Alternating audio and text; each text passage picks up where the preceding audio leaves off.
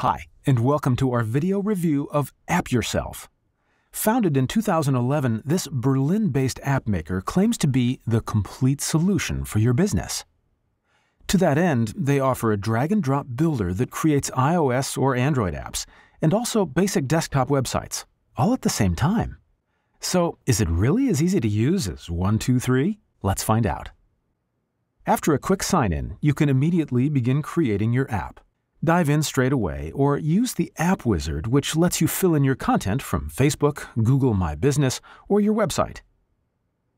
We'll create our app manually. Give it a name, and then choose a template from a dozen categories. These won't affect the look of your app, but will pre-select some useful modules or features.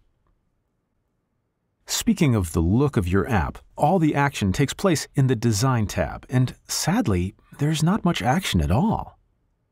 You get a few customization options, but it's hard to get creative. No font selection, for instance. Also note that you need to click Save after each of your changes to preview them. On the bright side, the editor is fast and responsive, and some modules include further layout options.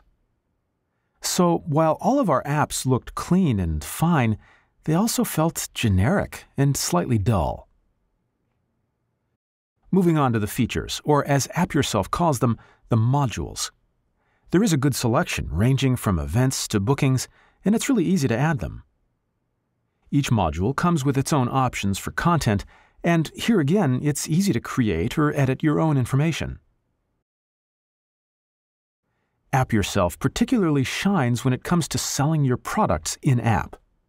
You can't link to, say, Shopify, but you can accept payments via PayPal or other methods directly within the app. You can upload your product list via CSV or XLS, which is convenient for bigger stores, and we also like the Product Catalog module. Finally, they have interesting extras, such as the ability to send push notifications to certain users only, or a live chat so users can contact you directly at all times. AppYourself's prices are very reasonable. You can start with a web-only app for 5 euros a month. Note that you will still need to buy your own hosting and domain name, but if you want a very basic website, this could be an option. After that, you get the native app for 15 euros a month, which limits you to 5 modules. The premium plan has unlimited modules for 30 euros a month.